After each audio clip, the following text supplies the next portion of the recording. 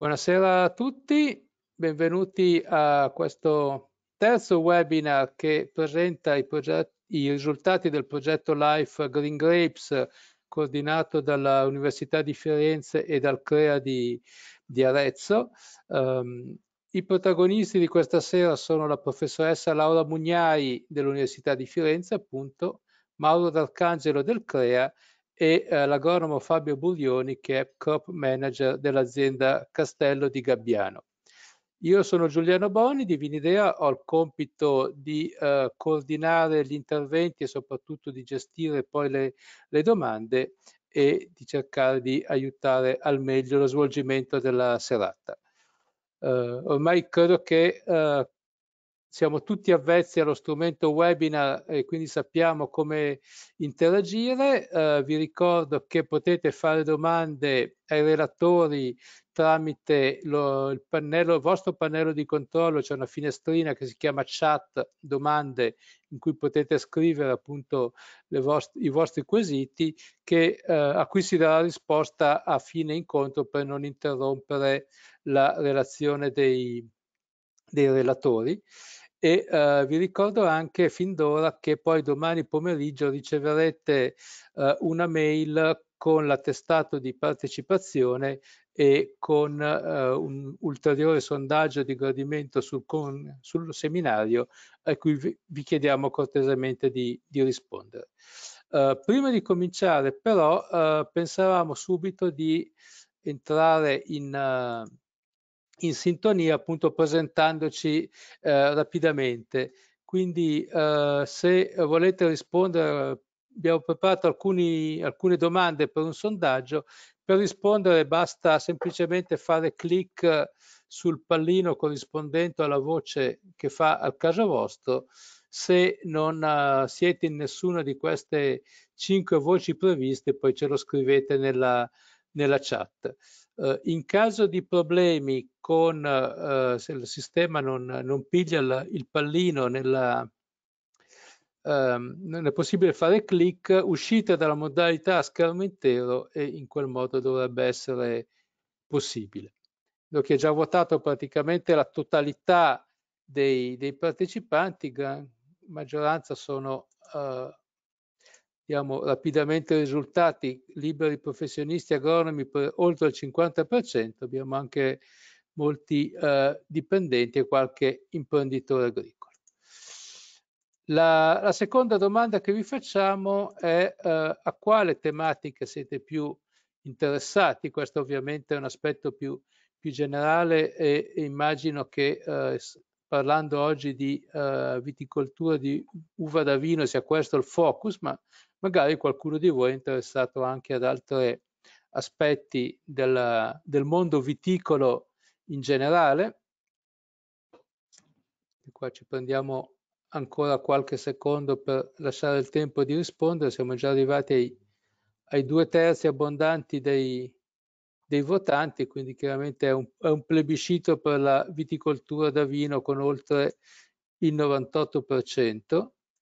E passiamo a questo punto a due domande invece più specifiche sulle tematiche che verranno trattate oggi. La prima vi chiede semplicemente se avete sentito parlare dei cosiddetti DSS, ovvero sistemi di supporto alla decisione, prima di quello che vi sarà presentato durante la giornata di oggi. In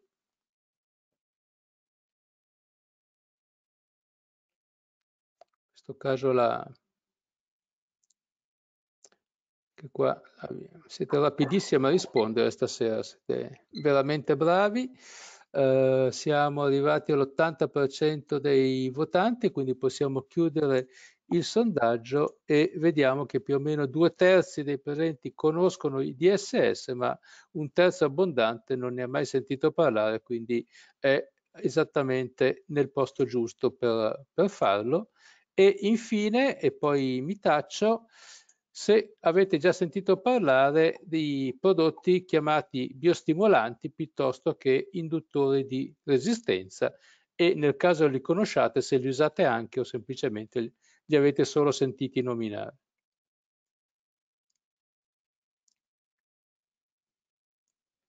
Tanto stanno già arrivando anche un po' di informazioni. C'è qualcuno che vede anche Fabio in tv molto spesso, molto bene, quindi abbiamo i personaggi giusti. Bene, anche qua abbiamo superato i tre quarti dei votanti, la maggior parte di voi conosce i biostimolanti, eh, solo un terzo, poco più, però li ha già usati, gli altri no. Quindi di nuovo penso che le informazioni che ci verranno date dai relatori oggi saranno particolarmente interessanti. Quindi io passo subito la parola a, a Fabio Burroni, io e gli altri relatori ci tacciamo e scompariamo momentaneamente dalla, dallo schermo, poi ritorneremo ognuno per il suo turno più tardi. Buon webinar a tutti. Grazie Giuliano e buonasera, buonasera a tutti. Eh, grazie alla presentazione che completo velocemente per chi non mi conosce. Sono uno dei due cofondatori dello studio agronomo in vigna di Firenze insieme al collega Marco Pierucci. E, ehm, io farò questa prima introduzione di questa bella giornata sulla difesa nel vigneto Peruva, da vino eh, analizzando ciò che abbiamo fatto nel corso di questi eh, tre anni eh, presso un'azienda che produce nel Chianti Classico e produce mh, eh, uva da vino che è il Castello di, di Gabbiano a Mercatale Val di Pesa. Una, mh, pre, prima di partire con la presentazione vorrei dire brevemente alcune cose molto semplici sul progetto stesso. Mh, il progetto è nato da Mm, la volontà nostra di andare a verificare il potenziale di alcune cose che già utilizzavamo nella, eh, nei, nei, cicli di produzione in vigna, eh, nel vigneto, attraverso eh, un'unione anche di quelli che sono i principi della ricerca e soprattutto una validazione di, dei metodi di applicazione di questi, di questi composti. Il, il, progetto LIFE, il Green Grapes, eh, è un progetto molto corposo. Ehm, è attivo su tutti i vari settori della filiera vitivinicola. Se già dal titolo si può capire come eh, si applica su quello che è il settore vivaistico, su quello che è la produzione dell'uva da vino, come quella lì dell'uva eh, dell da tavola. Ehm, ci sono delle cose che devono essere messe in evidenza e sono soprattutto estremamente importanti nella filiera vitivinicola perché ogni settore eh, ha un'attività un che condiziona enormemente quella successiva e può essere dannoso in, per certi aspetti ma può portare notevole valore. E cercheremo anche in questa breve presentazione che farò di verificare quali sono il potenziale che anche il settore vivaistico sull'uva nei, nei nuovi nei vigneti da uva da vino può dare. Incominciamo brevemente eh, andando a analizzare quelle che sono le motivazioni che ci hanno portato a sviluppare il progetto e soprattutto anche gli obiettivi dell'azienda che lo ha messo in atto. Ehm, e ringrazio oltretutto anche il direttore che è Francesco Caselli che ci ha permesso di attuare queste prove nel, sulle superfici aziendali. Le principali motivazioni partono da quella che è una crescita aziendale, dall'economicità legata all'uso dei DSS, da questi supporti decisionali che sono estremamente importanti in una moderna viticoltura per poter affrontare il mondo dei trattamenti con cognizione di causa, a quella che è la tutela del suolo in ambiente collinare, è un'azienda toscana nelle colline vicine a Firenze, pertanto con un, estrema, un ambiente estremamente difficoltoso nella tutela dello strato fertile del terreno, quello che è il rispetto del piano di azione nazionale, che attualmente addirittura è anche in fase di revisione, ma sicuramente è fondante per l'attività agricola nel settore della viticoltura. E poi una delle motivazioni che ha portato l'azienda la, a avvicinarsi anche a questo, a questo progetto è quello di definire un nuovo concetto di qualità delle proprie produzioni. Andando ad analizzare quelli che sono i principi della crescita aziendale, eh, noi abbiamo messo in evidenza alcuni punti che sono per noi fondamentali. Prima di tutto, quella che attraverso questo progetto e l'attività agronomica che si è portato avanti nel corso degli anni, abbiamo aumentato quella che è l'identità e la territorialità delle uve prodotte. in modo da poter arrivare a caratterizzare in modo eh, certosino quelle le produzioni aziendali eh, che siano facilmente poi anche riconoscibili. Oltretutto eh, nel corso degli anni abbiamo aumentato notevolmente quella che è la specializzazione dei vari operatori che sono stati interessati dal progetto. Ne ha permesso un aumento della consapevolezza nell'utilizzo dei vari macchinari e soprattutto nel, nell'approccio con questi mezzi tecnici che sono, ehm, che sono anche molto difficili da poter eh, utilizzare. Devono essere conosciuti in modo approfondito per, poterli, per poter essere utilizzati mh, eh, con successo nel, nei cicli di produzione. Oltretutto abbiamo implementato programmi di difesa consoni a quelle che sono le nuove aspettative dei mercati di consumo e del consumatore finale. Abbiamo naturalmente poi eh, promosso cicli di produzione che hanno permesso ai vigneti anche di essere, tra virgolette, una parola grossa, ma resilienti a queste continue variazioni delle condizioni climatiche. Negli ultimi anni, 2018, 2019, 2020, eh, sono state vendemmie sicuramente molto diverse fra di loro che hanno, eh, che hanno fortemente condizionato anche le uve finali. Una cosa positiva da mettere in evidenza è anche l'effetto positivo sul marketing aziendale, con un coinvolgimento positivo di tutte anche le figure aziendali che lavorano sul settore della commercializzazione dei, eh, dei vini, che è una cosa non secondaria da mettere in, in evidenza. Per quanto riguarda il secondo punto, che era l'economicità legata all'uso dei DSS, nel corso del progetto abbiamo ridotto il numero di trattamenti, eh, siamo, abbiamo avuto l'approccio nei confronti dei trattamenti consapevoli del rischio di infezione, che non è una cosa da poco per un, eh, un agronomo, per un tecnico aziendale. Eh, è estremamente una cosa molto importante e soprattutto ci ha permesso di avere una, una sicurezza maggiore soprattutto nella prima porzione della stagione con un rischio dove è il maggiore il rischio delle infezioni, soprattutto eh, peronosporiche. Poi abbiamo avuto eh, soprattutto quello che è un adattamento di tutte le indicazioni che ci hanno permesso di lavorare sul, eh, preci con precisione su quello che è un ambiente locale fino ad arrivare addirittura a quello che è il vigneto, in modo da poter arrivare a caratterizzare fortemente quelle che sono le produzioni ehm, di quel vigneto stesso. E soprattutto questo, questi DSS ci hanno permesso di avere nel momento in cui dovevamo prendere decisioni un quadro complesso e completo eh, di quelli che, che, erano gli agenti per, eh, patogeni che in quel momento potevano essere eh, attivi nel nostro vigneto, in modo da poter decidere con cognizione di causa quale principio attivo, quale formulato commerciale ehm, potevamo utilizzare. E infatti, come ho detto, la capacità di valutare quale principio attivo appunto utilizzare. Oltretutto questi DSS sono molto utili anche nella registrazione dei, dei trattamenti, che con una grossa semplificazione, che in questo momento è una delle cose anche più importanti e, e necessarie e obbligatorie di legge da poter eh, da, da dover fare.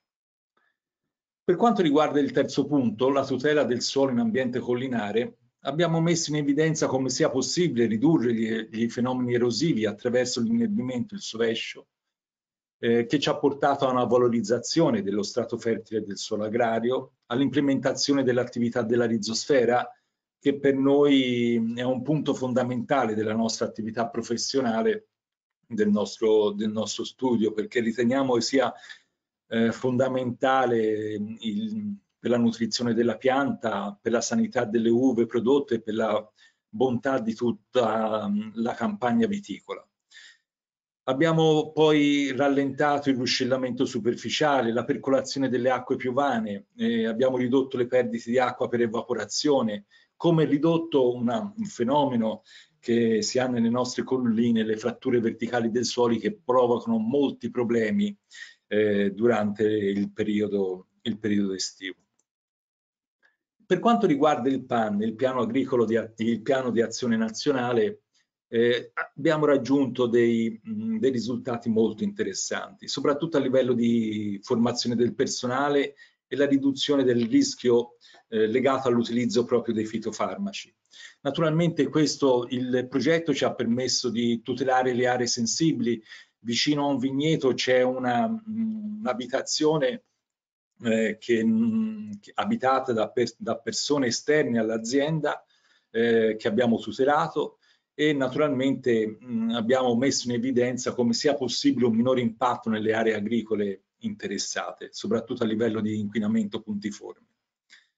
Abbiamo naturalmente anche aumentato la biodiversità per una maggiore sostenibilità nell'uso dei fitofarmaci e soprattutto ridotto quelli che sono i pericoli per l'ambiente acquatico e le acque di falda. Questi sono dei punti cardine del, ehm, degli obiettivi del piano di azione nazionale. Tra l'altro a livello europeo in questa slide si può vedere quali siano i cardini fondamentali che legano tutti i piani nazionali che a livello comunitario vengano messi in evidenza.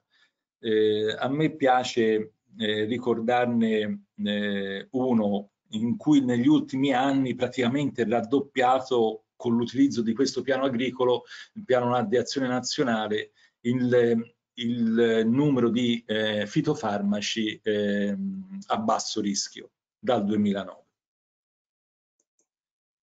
E soprattutto, come ultimo punto, definire un nuovo concetto di qualità. Abbiamo operato in, una, in un contesto privilegiato, quello del Chianti Classico, vicino a Firenze, in un'azienda internazionale che già caratterizzata da dei vini di qualità molto elevata.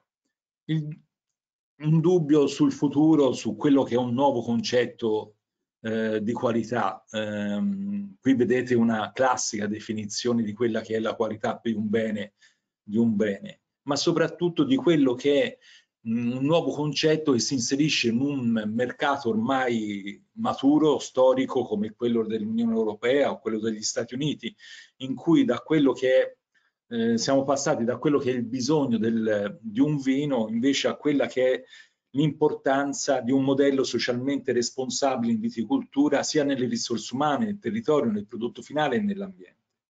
Questo secondo noi è un, un nuovo concetto da, che si può esprimere in viticoltura, in una viticoltura eh, moderna eh, che sappia eh, aperta e che non abbia eh, gli occhi foderati eh, da, mh, da, cose che ne impediscano praticamente di allargarne gli orizzonti.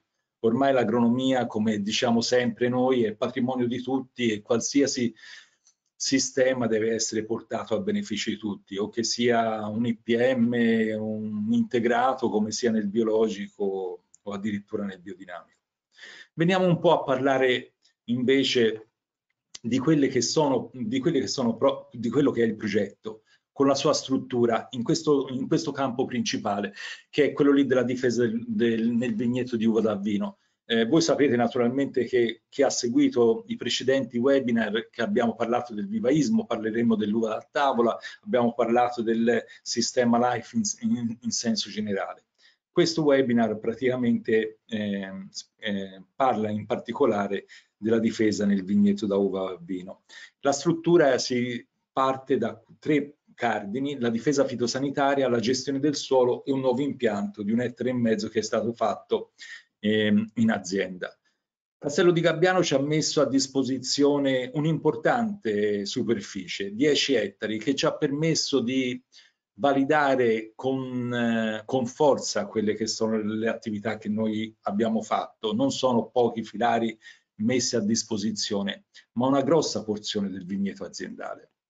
L'azienda ehm, e poi un corpo unico ben, ben esposto e contiguo eh, indicato proprio per poter ammettere a, eh, a, confronto fra di loro le tesi che qui velocemente eh, ricordo. Un integrato aziendale, l'azienda è convenzionale per quanto riguarda l'utilizzo dei, eh, dei, prodotti, ma segue eh, da sempre eh, con convinzione il sistema di eh, coltivazione integrata. Eh, la seconda tesi è un'integrata aziendale con una riduzione al 50% dei fitofarmaci, che non è, è un obiettivo estremamente importante per noi. Poi abbiamo messo a confronto un biologico standard, diciamo che abbiamo definito, che io e Marco definiamo un biologico standard, un cosiddetto cupro solforico, cioè quelli in cui utilizziamo solo e esclusivamente rame zolfo alle dosi massime consentite di, dalla legge, all'inizio 6 kg, dopo successivamente 4 kg. Una tesi con biologico una riduzione del 50% del rame, e invece una, una tesi in cui abbiamo inserito uno zero rame in cui abbiamo messo sotto stress tutti i composti che noi abbiamo utilizzato nel corso della stagione, che erano quelli che prima Giuliano ricordava, insieme anche a tante altre sostanze, soprattutto coprenti, che ci hanno permesso di portare a termine la stagione, ma che è stata un'ottima palestra per capire bene l'attività di questi eh, prodotti. Porto questa veloce eh, slide su quelli che sono i trattamenti fitosanitari. Tre anni, 2018, 2019, 2020. Con il 2018 è stato il primo anno in cui abbiamo inserito i DSS, è stata un'annata non semplice, infatti vedete in fondo nel biologico zero rama abbiamo inserito, siamo stati costretti ad inserire due trattamenti con rame perché mh, eh, avevamo delle grosse, eh, un problema su delle infezioni di peronos, peronosporiche abbastanza rilevanti. E poi vedete come nell'andamento, nel corso degli anni, invece abbiamo imparato, fra virgolette, a mettere a frutto la nostra esperienza e ciò che abbiamo eh, acquisito come dati, come informazioni negli anni precedenti e con l'utilizzo dei DSS che ci hanno permesso soprattutto di ridurre il numero di trattamenti. Questo discorso della riduzione del numero di trattamenti non è una cosa da prendere sotto gamba. Eh, voi pensate che facciamo mh, conto di quel vigneto che, che, il Castello di Gabbiano ci ha messo a disposizione. Eh, sono 10 ettari. La riduzione di un semplice trattamento, considerando che un conto terzista possa costare per un trattamento circa 80-90 euro per poterlo effettuare e un costo dei vari prodotti minimo, diciamo 50 euro, sono circa 130-150 euro a ettaro che risparmiati. Per 10 ettari sono già 1500 euro. Io lo dico sempre questa cosa, non tanto per mettere eh, in secondo in secondo piano gli aspetti ambientali che sono per me e per noi preminenti sempre, ma semplicemente per far capire che gli investimenti che vengano fatti su una centralina e sull'utilizzo del DSS, se fatti da tecnici bravi o che agiscono con precisione in modo oculato, sono degli investimenti che si riescono a, a coprire in pochissimo tempo. Non dico in, una, in capo a una semplice stagione, ma sicuramente in due. Per quanto riguarda la difesa, infatti, eh, come vi ho, detto, eh, vi ho detto prima, abbiamo nel corso del tempo eh, imparato a utilizzare in modo migliore questi DSS, questi supporti alla decisione, e soprattutto abbiamo visto come sia necessario integrare il loro utilizzo con i rilievi in campo. E il tecnico, l'agronomo eh, che calpesta il vigneto è sicuramente una delle cose fondamentali per poter permettere di utilizzare al, mes, al meglio questi mezzi che la tecnica ci offre in questo momento. Un'ulteriore cosa che mi piace mettere in, in evidenza è stata l'acqua per i, i, trattamenti che è stata utilizzata da 100 a 300 litri a ettaro e capite bene come in un'azienda delle dimensioni anche del castello di Gabbiano, che ha una superficie evitata superiore anche a 100, 100, 100 ettari, come poter ridurre semplicemente il numero di trattamenti abbia permesso di ridurre notevolmente l'acqua utilizzata. E soprattutto perché questo, questo progetto ci ha permesso anche di utilizzare delle macchine per ridurre le cosiddette derive, è stato uno dei principi più importanti anche per tutelare gli ambienti sensibili che erano vicini al vigneto stesso. Come vedete è presente una torretta eh, superiore. Per quanto riguarda invece la parte legata al suolo, abbiamo agito sulle tesi con, in, due, in due modi utilizzando quello che è un inerbimento spontaneo a filari alterni, che era la gestione comune aziendale, e proponendo una soluzione alternativa, un sovescio sempre a filari alterni con un mispuglio plurispecifico. Questa gestione del suolo è stata mh, condotta con estrema semplicità, mh, con una semina del sovescio una seminatrice portata durante il mese di novembre nell'ultimo anno, con uno sfalcio sia del, so, del sovescio e successivo internamento durante aprile-maggio a seconda dei, dei momenti e degli anni e degli altri due tagli fatti a giugno-luglio. L'inerbimento ha seguito praticamente il sovescio, con lo sfalcio a maggio, a giugno e a luglio. C'è stata poi una semplice spollonatura sotto fila fatta nel mese di luglio, mentre i filari che non erano né inerbiti né eh, sovesciati hanno subito due lavorazioni del terreno a marzo e a maggio. Questo è il vigneto eh, col direttore eh, che ci saluta. Per quanto riguarda invece il nuovo impianto, ehm, questo è stato il collegamento dell'azienda con il, il, settore vivaistico che è stato analizzato dal, eh, su cui si è ehm, focalizzata l'attività del progetto Green Grapes eh, nei due vivai toscani eh, che, sono, che, hanno prodotto il materiale che è stato utilizzato que con questo nuovo impianto. Chi ha seguito il webinar precedente eh, sa come abbiamo lavorato e quali tecniche abbiamo implementato nel, eh, nella produzione delle barbatelle eh, biologiche per il nuovo impianto. Abbiamo utilizzato una sostanzialmente tanto così per ricordarlo velocemente, delle tecniche particolari di micorrizzazione. Questo materiale è stato impiantato, ma è stato prodotto naturalmente in vivaio iniziando nel 2018, è stato impiantato in azienda nel nuovo vigneto nel 2019 con una prima potatura fatta a marzo 2020.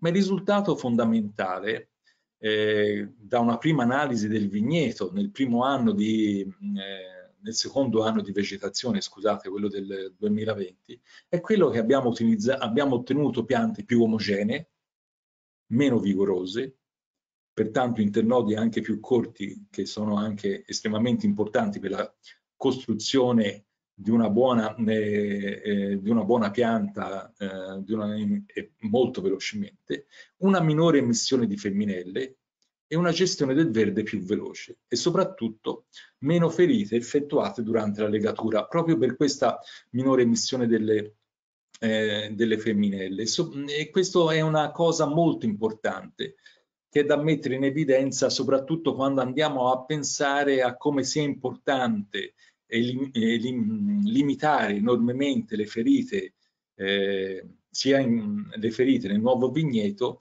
per ehm, aumentarne anche quella che è la sanità e la mh, durata nel corso degli anni st della, stessa vigna, della stessa vigna. Veniamo velocemente a quelle che le sono che le conclusioni. Il progetto ci ha permesso di aumentare quella che è il grado di specializzazione del personale, eh, ha reso tutto il personale che ha partecipato al progetto più consapevoli delle varie operazioni e delle tecniche che stavano utilizzando. E questo è estremamente importante perché ha permesso a queste persone di, ehm, di apprezzare il valore delle tecniche culturali che stavamo eh, mettendo in mostra in que durante questi tre anni, che abbiamo messo in mostra durante questi tre anni di lavoro. Abbiamo messo in evidenza come sia necessaria l'integrazione dei DSS con i sopralluoghi in campo ehm, e questo è sicuramente una cosa importante per qualificare ulteriormente quello che è il lavoro dell'agronomo, del tecnico di, eh, di campagna. Abbiamo visto come i DSS e l'utilizzo di questi induttori di resistenza, biostimolanti, coprenti, abbia permesso di ridurre il numero di trattamenti e dell'acqua utilizzata.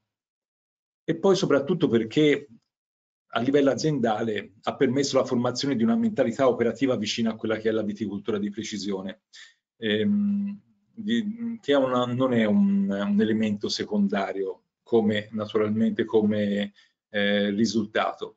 Eh, e poi per terminare ha permesso un allevamento di un nuovo impianto con minori ferite e suscettibili di, inf di infezione e soprattutto ha, ha permesso di ottenere un nuovo impianto più omogeneo e sicuramente con un'entrata in produzione che sarà a breve sicuramente con delle percentuali molto alte di piante che potranno essere eh, che entreranno in produzione. Grazie per l'attenzione e naturalmente poi rimango in, ehm, eh, a disposizione per tutte le domande al termine della, delle varie presentazioni dei miei colleghi. Grazie. Grazie, grazie mille Fabio, in effetti sono già arrivate un po' di domande ma che appunto conserviamo per, per la fine. Eh, ne approfitto, adesso facciamo noi un po' di domande ai partecipanti, ma intanto vi ricordo che eh, sempre nel pannello di controllo di GoToWebinar c'è una sezione, si chiama documenti, in cui potete già scaricare tutte le presentazioni che eh, vedrete stasera e eh, inoltre dei documenti informativi sul progetto e anche i risultati della prima e della seconda annualità dei, dei lavori. Quindi dalla sezione documenti avete già eh, la possibilità di scaricare tutto quello che vi interessa. Allora, eh, andiamo al prossimo sondaggio. Abbiamo parlato appunto del progetto Life uh, Green Grapes. Fabio ci ha presentato un po' l'approccio sperimentale. Quello che voglio sapere è se prima del webinar di stasera ne avevate mai sentito parlare o uh, siete capitati qua appunto perché stimolati dalla curiosità di, di saperne di più e di approfondire l'argomento.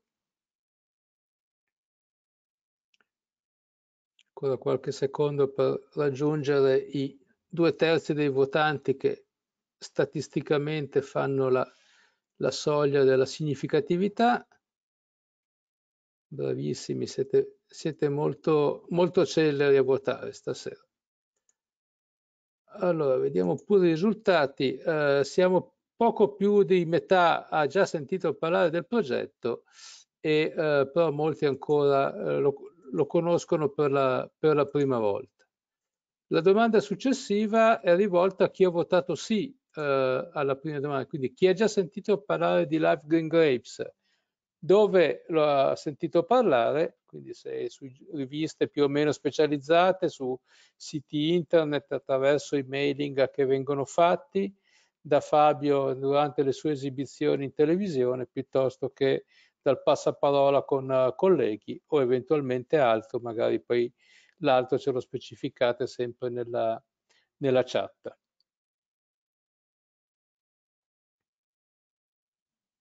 Che qua attendiamo ancora qualche secondo per permettervi di completare le risposte. Chiaramente il totale un po' meno perché metà dei partecipanti non ne aveva sentito parlare e vediamo che la grande maggioranza ne ha sentito parlare tramite internet nelle sue diverse forme, ma anche il passaparola tra colleghi bisogna dire che è stato eh, rilevante nella comunicazione sul, sul progetto. Infine abbiamo due domande, che, o meglio una st stessa domanda che però va divisa in due per questioni di, di opzioni possibili. Eh, quali dei seguenti temi del progetto Live Green Grapes ritenete che siano più utili alla vostra attività? Ce ne saranno altre tre opzioni la prossima volta, eh, sulla prossima sondaggio vi chiedo di selezionare non più di un paio per scheda eh, e le opzioni sono è utile per l'incremento della biodiversità dei suoli perché ha favorito la produzione di barbatelle biologiche, perché si incrementa la produzione di barbatelle microrizzate o perché si riducono i fitofarmaci per la produzione di uva da vino.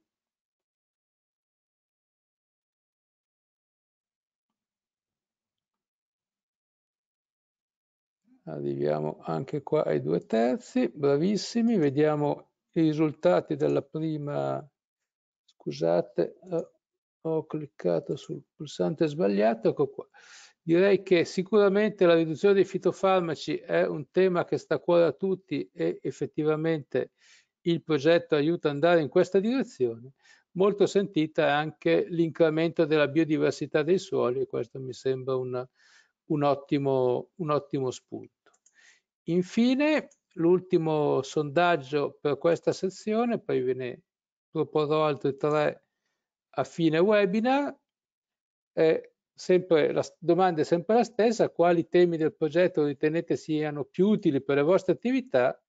In questo caso la riduzione dei fitofarmaci diretta alle uve da tavola, eh, quindi eh, la valutazione dei prodotti di protezione alternativi ai prodotti a base rame, quindi possibilità di diversificare i prodotti utilizzati per la difesa e eh, il riflesso di questi nuovi trattamenti sulla qualità ma anche sulla quantità delle produzioni finali.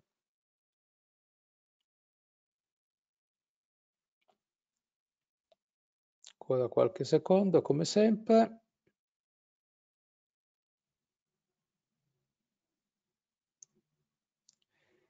Bene, siamo arrivati a, al 70% dei, dei risultati. La riduzione del rame è un tema che decisamente vi, vi sta a cuore eh, si ricollega anche a una delle domande che sono arrivate nel frattempo, ma anche in generale il riflesso di quanto, previsto, di quanto ottenuto dal, dal progetto può avere come riflesso sia sulla qualità ma anche sulla quantità delle produzioni in vigneto. Molto bene, Passo ora la parola a Laura Mugnai, professoressa dell'Università di Firenze che non ha bisogno di presentazioni. Laura ti invito a condividere ecco lo schermo, a accendere la webcam così ti vediamo. E io e, Fabio, mm. io e Fabio invece scompariamo dalla vista e ci risentiamo dopo. Ora ci siamo? Mi, mi vedete, mi sentite? Ti vediamo Buona. e ti sentiamo. Bene, allora, intanto vediamo se riesce a ricominciare. Eccoci. Allora, la, la, mia relazione verterà su argomenti un po' più applicativi eh, rispetto all'introduzione ampia che ci ha fatto Fabio. Andremo a vedere eh, proprio che cosa abbiamo fatto in pratica per, eh, per verificare, per imparare, per mettere a punto dei protocolli alternativi a quelli classici per la difesa, quindi individuare eh, quali sono eh, i problemi che dobbiamo affrontare per eh, proteggere il vigneto con prodotti a impatto minore sull'ambiente e tutto quello insomma, che ci ha già detto Fabio, non solo il rame, ma in generale anche i prodotti di sintesi. E il progetto quindi ha eh, creato a questo scopo eh, una serie di tesi diverse che già Fabio ci ha fatto vedere, no? quindi abbiamo la difesa integrata e la difesa integrata con riduzione di fitofarmaci, la difesa biologica e la difesa eh, sempre biologica con riduzione di fitofarmaci, come diceva Fabio il 50% è l'obiettivo mm, a cui cerchiamo di avvicinarsi il più possibile, a cui siamo andati in realtà abbastanza vicino. E poi abbiamo questa ultima tesi di sfida, eh, una tesi con il 100% di riduzione, quindi niente rame, niente eh, fitofarmaci, nessun prodotto eh, dichiarato un prodotto fitosanitario per la difesa. Le due tesi ultime, questa del biologico e eh, riduzione del 50% di eh, fitofarmaci in vigneto biologico, le abbiamo anche replicate in due esposizioni diverse. Eh, queste eh, tesi che si strutturano, adesso vi faccio vedere un'immagine rapida del vigneto si strutturano in filari paralleli in un vigneto di 5 ettari eh, con condizioni molto uniformi, eh, sono eh, state analizzate tramite eh, i risultati quindi sono stati analizzati tramite il monitoraggio di cui si parlava prima delle malattie principali che troviamo sulla vite e eh, importantissimo l'utilizzo dei eh, sistemi di supporto alle decisioni. Eh, I sistemi di supporto alle decisioni sono un eh, mezzo eh, che sta diventando sempre più eh, importante per eh, individuare eh, gli elementi di rischio, le, fasi di rischio nelle varie malattie che possiamo trovare in vigneto. Eh, ora non c'è eh, il tempo di illustrarveli con dettaglio, però quello che abbiamo scelto noi è il sistema Orta, eh, Vitenet, che eh, fornisce una serie di indicazioni anche di rapido utilizzo sull'andamento eh, delle epidemie nel vigneto. Eh, sulla base di tutti questi elementi poi eh, abbiamo via via proceduto a fare eh, delle scelte appunto sui protocolli da adottare. Eh, i protocolli in cosa consistevano? Ora in questa fase eh, voi sapete che per ridurre l'impatto dei fitofarmaci ci sono tante cose che possiamo fare, eh, non soltanto il monitoraggio, non soltanto la scelta dei prodotti, ma come questi vengono applicati, quando, le osservazioni sullo sviluppo della vegetazione, eh, insomma, sono eh, tutte le tecniche culturali che ci possono aiutare eh, in modo importante a mh, ridurre la necessità di utilizzare dei prodotti che vadano a, a, ad agire direttamente sul patogeno. Ora, in questo progetto però ci siamo sotto, mh, proposti soprattutto di ehm, eh, affiancare ai eh, prodotti per la difesa, quindi i veri e propri prodotti fitosanitari che eh, sono registrati come tali, che hanno dimostrato eh, per poter avere la registrazione di eh, possedere delle azioni eh, importanti e specifiche verso diversi patogeni. Ecco, ci siamo proposti di affiancare a questo dei prodotti che già eh, più o meno eh, utilizzavamo come ehm, all'interno dei, dei, dei, piani di, di gestione diciamo, del vigneto eh, affiancarli inserendoli proprio eh, nel eh, protocollo di difesa, eh, non perché eh, questi abbiano un ruolo diretto sulla difesa, ma perché eh, sono prodotti che ehm, hanno proprio la capacità di supportare la pianta nella sua ehm, nell'attività nella, nell vegetativa, nel nell'incontro con i microorganismi esterni patogeni. Quindi eh, alcuni di questi eh, sono prodotti che ehm, hanno eh, dimostrato anche eh, delle capacità di stimolare reazioni di difesa della pianta, pur non essendo dei prodotti, degli induttori di resistenza come eh, possono essere alcuni eh, fitofarmaci registrati come tali, ma sono delle capacità che sono legate proprio alla natura di questi prodotti. Si tratta di prodotti che eh, di solito hanno una serie di componenti, eh, microorganismi, sostanze naturali, eh, prodotti che, componenti che eh, lavorano in eh, sincronia, eh, che hanno azioni diverse che portano a, a, aiutare la pianta appunto sia nella eh, difesa sia nel mantenersi più sana, nel, a volte anche con un impatto importante anche sulla qualità. Allora, questi prodotti eh, però abbiamo detto non sono eh, prodotti ehm, eh, che possiamo considerare dei veri e propri fitofarmaci e quindi li abbiamo eh, integrati nella difesa. Eh, qui vi ho portato l'esempio del ehm, eh, del protocollo che abbiamo utilizzato per ehm, la difesa integrata con riduzione del 50% dei prodotti fitosanitari. E qui vedete che in alcuni casi abbiamo eh, sostituito eh, nel trattamento, in certe fasi de della, del ciclo abbiamo eh, eliminato proprio i fitofarmaci veri e propri e abbiamo soltanto aiutato la pianta in quella fase in altri casi invece abbiamo utilizzato questi prodotti per eh, supportare l'azione di difesa del fitosanitario eh, con, riducendone fortemente eh, la quantità. Quindi possiamo, eh, abbiamo voluto provare a ridurre la concentrazione del prodotto fitosanitario al minimo ammissibile, ovviamente minimo di etichetta, eh, aiutandolo però con eh, l'utilizzo di questi prodotti alternativi. I prodotti che cosa sono? Sono eh, dei fertilizzanti. Voi sapete appunto che gli induttori di resistenza sono una categoria di fitofarmaci ormai, è un tipo di eh, azione che eh, a partire dallo storico fossetile alluminio altri prodotti hanno microorganismi o parti di microrganismi, eh, sostanze naturali, eh, strati di alghe, eccetera. Ci sono prodotti registrati per questo scopo. Eh, quello che abbiamo utilizzato noi invece sono prodotti che sono proprio classificati come fertilizzanti o biostimolanti, eh, che quindi eh, non hanno eh, una dichiarata azione nel superamento degli stress biotici, ma anzi eh, lavorano dalla parte della pianta. Eh, questo è eh, il protocollo che abbiamo usato invece nel bio con riduzione del 50% e anche qui, eh, qui abbiamo invece più frequentemente affiancato la bassa quantità di, eh, la, la, minima quantità di prodotti eh, rameci o, o, anche di zolfo con questi prodotti di supporto. Questo è il vigneto, sono poi in realtà tre vigneti, come vedete il vigneto più grande è quello dove abbiamo eh, eh, affiancato tutte le tesi e gli altri due quelli dove abbiamo replicato eh, le ultime due, il biologico e il biologico a riduzione, eh, con esposizioni diverse.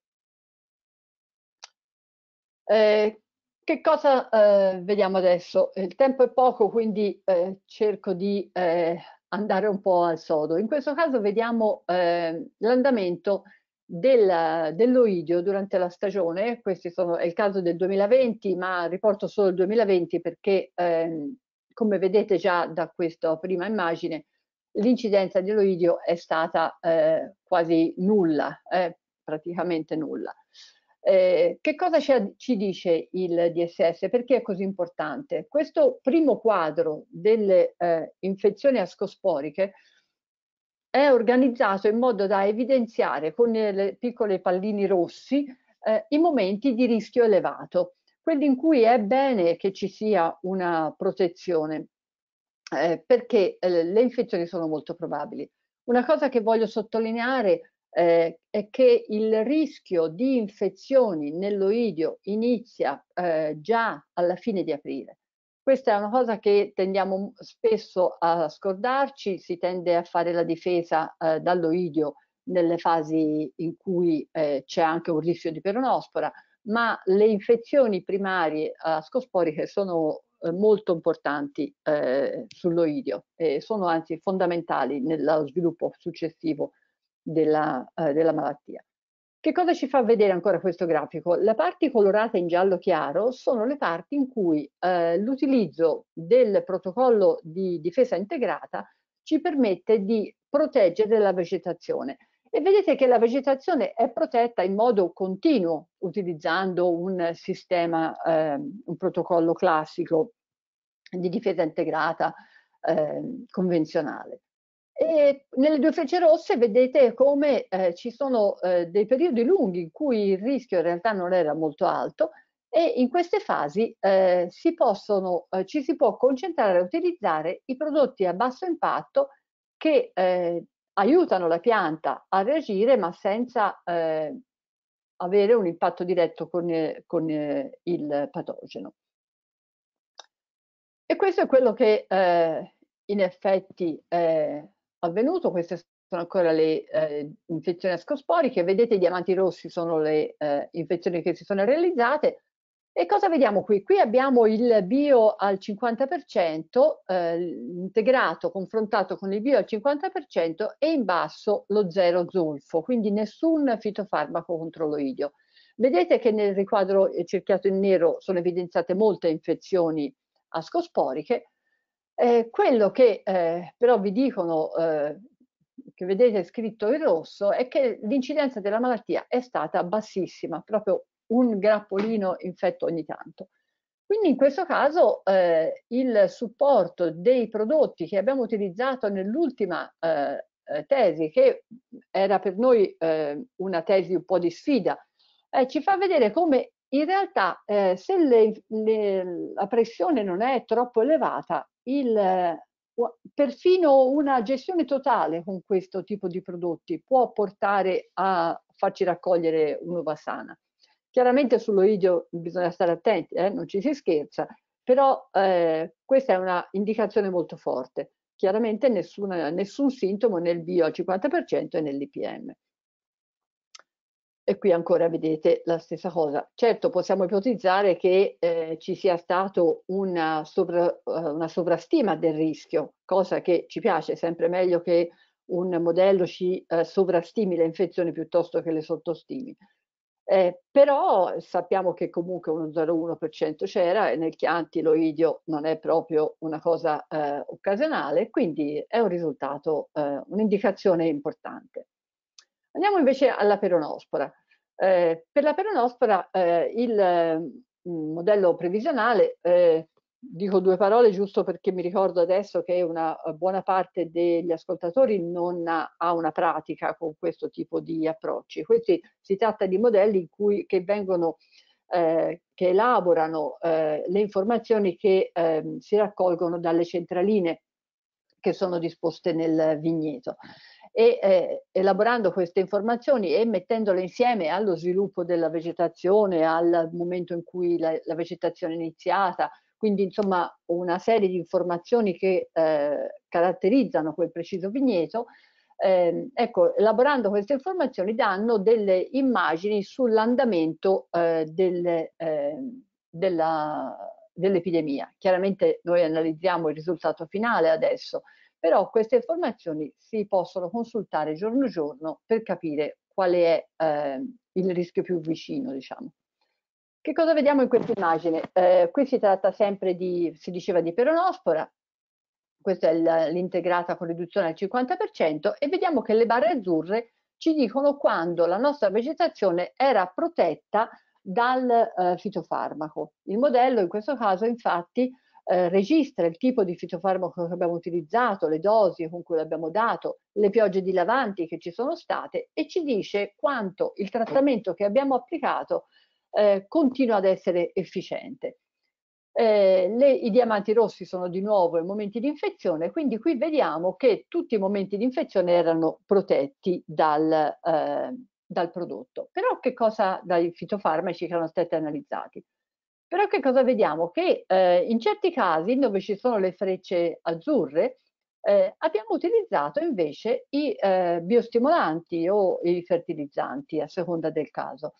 Eh, e cioè, eh, perché in questi momenti? Perché sono momenti in cui non c'è pressione della malattia, non ci sono infezioni previste, non ci sono diamanti rossi e, e questo ci ha, potuto, ci ha, permesso di ridurre eh, notevolmente la quantità di prodotti, sia perché li abbiamo supportati riducendo la quantità eh, durante eh, quando facevamo trattamenti doppi con fitofarmaco e eh, il, gli elementi di supporto e in certi casi appunto utilizzandoli da soli.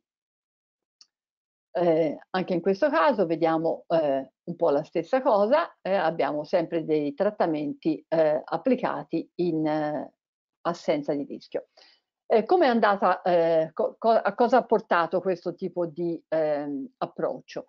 chiaramente abbiamo avuto nelle tesi, la vedete sulla destra, le barre più alte in verde, il CG5, no protezione, Qui abbiamo avuto un 7-8% di eh, peronospora alla fine della stagione, quindi abbiamo utilizzato soltanto prodotti di supporto.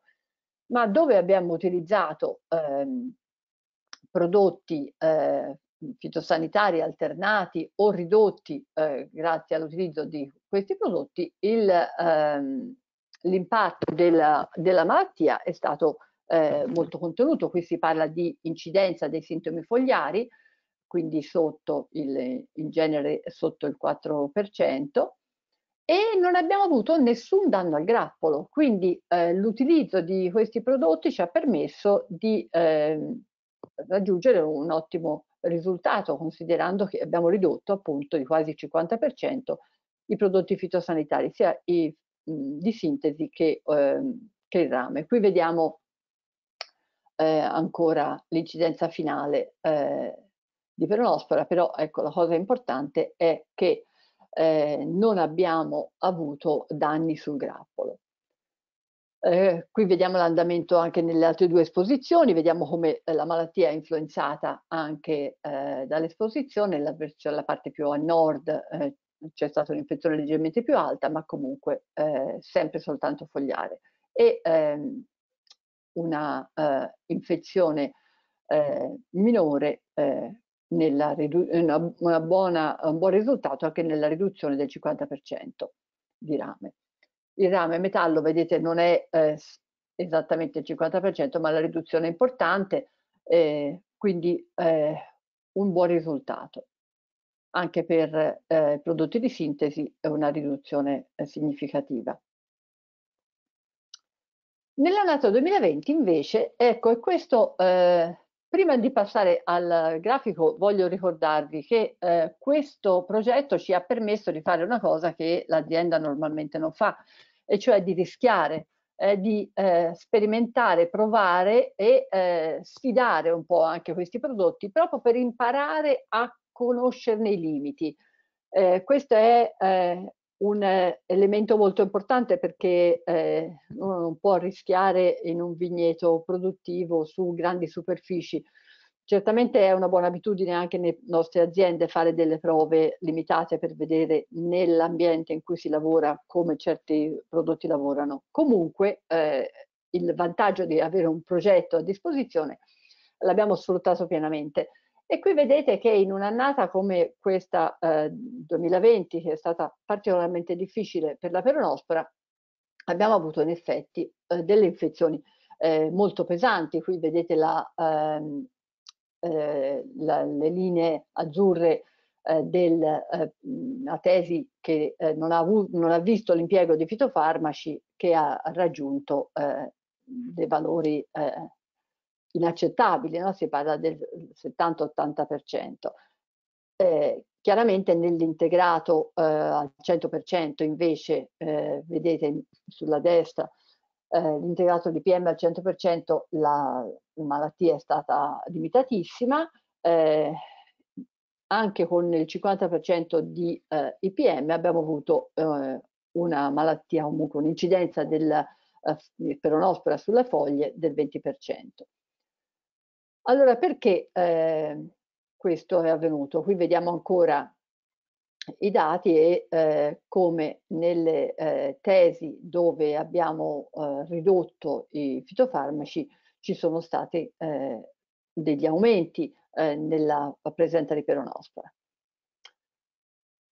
Eh, sul grappolo chiaramente il danno non era così elevato e vedete che eh, sul grappolo le frecce mh, ve lo indicano eh, con il bio al 50% abbiamo avuto un 15% eh, di danno, con il rame il 20%, quindi certamente eh, importanti, ma con eh, l'IPM al 50% ad esempio il danno era eh, trascurabile. E abbiamo comunque ridotto la quantità di rame. Allora perché? Eh, cosa abbiamo osato fare in questa annata così difficile? Che rischi abbiamo corso. E qui lo vedete, eh, avete ormai imparato a leggere un po' eh, questo tipo di rappresentazione, le bande blu che ci dicono che eh, in alto nel grafico dell'IPM le infezioni primarie sono eh, totalmente protette perché eh, ci sono le bande blu per, tutto, per tutta la durata del, quasi tutta la durata della stagione, c'è soltanto una piccola finestra e in effetti qui c'è stata un'infezione limitata dell'1,9%, ma eh, nell'IPM con riduzione vedete che eh, qui c'è la sfida, un momento in cui ci sono una serie di eh, diamanti rossi, ora sono un po' accavallati, ma sono ancora di più di quello che si vede eh, qui, sono un po' sovrapposti, quindi una serie di giornate, eh, 5 o 6 giornate, una dietro l'altra in successione con ehm, mo momenti di rischio molto significativo. E in questo momento abbiamo eh, applicato eh, prodotti a, eh, che non sono dei veri e propri fitosanitari. Questo eh, lo vediamo anche in, questa, in quest'altra eh, immagine. Vedete con il bio al 50% il periodo non protetto da eh, prodotti fitosanitari ha avuto soltanto il supporto, quella linea rossa che vedete eh, trasversalmente, eh, longitudinale, eh, abbiamo avuto soltanto il supporto dei eh, prodotti alternativi, di questi prodotti a basso impatto, biostimolanti o fertilizzanti.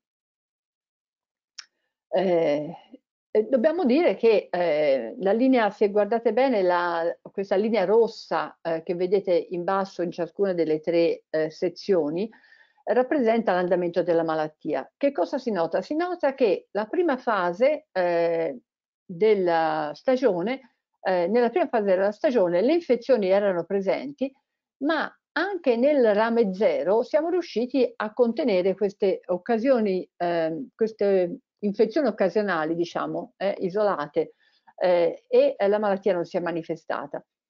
Eh, ma quando abbiamo eh, lasciato eh, la vegetazione meno protetta, eh, anzi non protetta da veri e propri fitofarmaci, ma abbiamo soltanto cercato di aiutare la pianta, questo eh, non è stato sufficiente e l'infezione è partita eh, dopo poco rapidamente.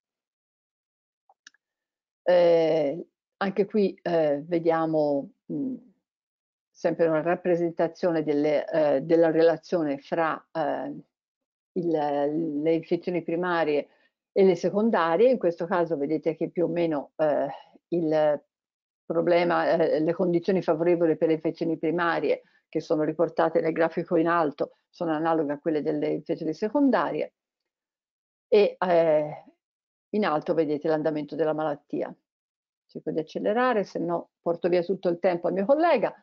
Eh, quindi la perdita eh, comunque è, eh, è, stata evidente, ma tutta collegata a questo momento in cui eh, abbiamo allentato eh, l'attenzione. Dunque abbiamo visto che è possibile effettivamente ridurre l'uso dei prodotti per la difesa supportando la pianta nella sua azione.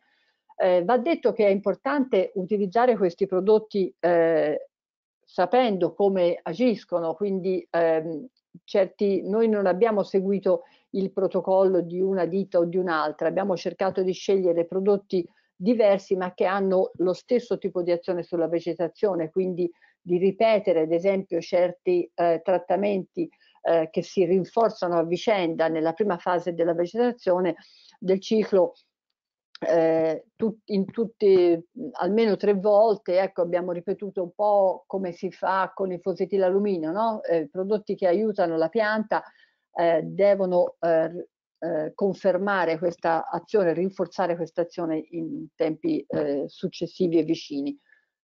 Eh, l'elemento critico rimane la pressione della malattia, quindi vediamo come eh, davanti a una uh, malattia uh, conclamata e con un rischio molto importante eh, dobbiamo scegliere prodotti che hanno un'attività diretta contro il patogeno.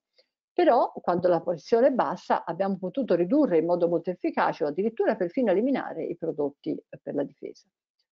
Eh, quindi chiaramente valutando eh, tutto questo è possibile perché possiamo valutare eh, il reale rischio appoggiandoci ai sistemi di supporto alle decisioni. Quindi un, sono due elementi di supporto per le decisioni e per la difesa della pianta.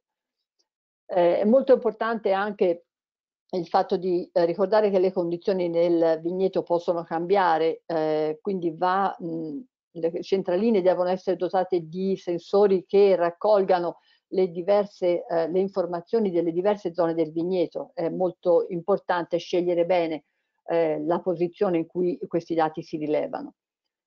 Eh, quindi eh, ricordare appunto che non sono sostanze attive ma dei composti che agiscono in modo diverso, quindi utilizzarli con le precauzioni che abbiamo detto e comunque ecco eh, eh, l'utilizzo di prodotti alternativi nei momenti di bassa pressione ci può permettere ad esempio di affrontare con più tranquillità il, pro il problema della bassa quantità di rame che abbiamo a disposizione e conservare eh, il rame per, le, eh, per, i momenti in cui, come abbiamo visto, è davvero necessario intervenire eh, con un prodotto ad azione più diretta e invece ridurlo fortemente quando la pressione è più bassa. Bene, vi ringrazio. Mi sono dimenticata di mettere la slide di ringraziamento, quindi ve lo dico a voce e passo la parola al mio collega. Benissimo Laura, grazie mille. Intanto che passiamo lo schermo a Mauro D'Arcangelo del, del CREA, eh, vi ricordo sempre che potete scaricare i documenti dal pannello di controllo, qualcuno ha detto che non riesce a farlo, ogni tanto l'informatica non c'è amica, ma nel caso mandate una mail all'indirizzo del progetto, quindi Life Green Grapes, tutto attaccato, chiocciolagmail.com e ve li mandiamo per, con quel sistema. Eh, vi ricordo anche tutti gli agronomi che hanno segnalato il proprio numero di, di tessera verranno, eh, comunicheremo noi automaticamente all'ordine la vostra presenza al, al, webinar e quindi vi verranno riconosciuti eh, i crediti eh, formativi. Mauro, prego. Bene, allora siamo in dirittura d'arrivo. Eh, chi mi ha preceduto ha già introdotto eh, ampiamente quella che eh, poi sarà la mia trattazione. Mm, in questi 20 minuti che cosa cercherò di fare con voi? cercherò di eh, puntualizzare eh, le caratteristiche di questi nuovi prodotti che noi ci troviamo, che ci siamo trovati ad utilizzare eh, in verità in questo progetto ed ehm, provare anche a dare alcune indicazioni tecniche sulle eh, modalità con cui questi eh, prodotti, questi nuovi prodotti possono aiutarci in verità ad eh, una difesa più attenta. Ancora prima di eh, comunque andare eh, nel dettaglio di quella che è la, eh, poi la presentazione, eh, è già emerso e mi preme risottolineare eh, quello che è in verità un mutato contesto eh, normativo in cui noi oggi ci troviamo. non a caso con il New Deal noi ci siamo, con il Green Deal, in verità ci, siamo, ci troviamo in un ehm, in un contesto in cui eh, la protezione delle piante assume eh, un nuovo paradigma. Eh, noi anni fa, appunto all'inizio del progetto, ci eravamo posti un obiettivo che era quello di, di ridurre del 50% l'uso dei pesticidi, quindi eh, quasi con eh, un fare da visionari. Eh, oggi noi ci troviamo addirittura l'Europa che in un qualche modo con quelli che poi saranno degli strumenti normativi ancora più, più fini eh, ci dice che noi questa attività la dobbiamo porre in essere quindi eh, nella nostra attività eh, di imprenditori agricoli dovremo porre attenzione a quello che è, sarà l'impatto eh, della nostra protezione delle piante eh, ehm, sull'ambiente. Ci pone anche altre, altre sfide, l'Europa stessa ce le pone e ci dà anche, se vogliamo, degli strumenti in questo caso economici e finanziari, che in qualche modo si spera ci possano permettere di eh, superare eh, le sfide che appunto sono, sono in corso. Sempre nell'ambito di quella che è poi il cambio di questa nostra, diciamo così, di questo nostro orizzonte in cui sino a ieri lavoravamo, c'è da considerare anche eh, un'altra serie di norme che incidono e hanno inciso eh, profondamente su quello che è poi eh, l'utilizzo di questi eh, dei prodotti fitosanitari eh, nel, nell'attività eh, imprenditoriale che ci vede coinvolti. È già stato citato da dottor Burroni il PAN a cui eh, gran parte delle aziende, anzi la totalità delle aziende sono dovute in qualche modo ehm, così eh, adeguare, PAN che è in verità in eh, revisione, ma ancor più eh, le aziende sono dovute eh, in qualche modo abituare all'idea che tutta questa disponibilità di principi attivi che sino a, a dieci anni fa eh, era mh, presente, in verità oggi non l'abbiamo più. Se noi andiamo semplicemente a vedere quello che è il numero di principi attivi eh, che eh, per eh, processi normativi complessi che non sto qui a, denunciare oggi non abbiamo più sul mercato, vediamo che abbiamo di fatto ridotto di due terzi il numero eh, di, di questi nostri eh, strumenti tecnici da utilizzare nella protezione delle piante. E eh, questo che cosa ci porta a dire? Ci porta a dire appunto che eh, e ci porta anche ad operare eh, eh, con una visione che risulta essere eh, diversa.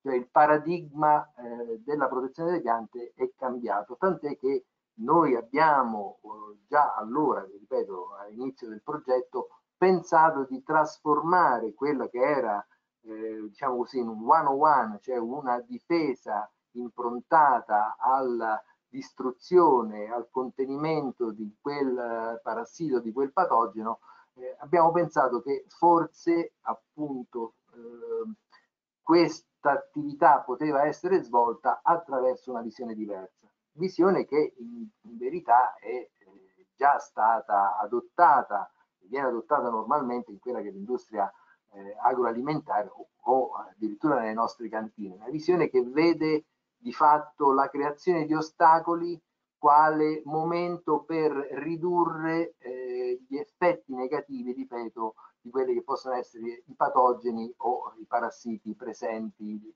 eh, nel nostro vigneto.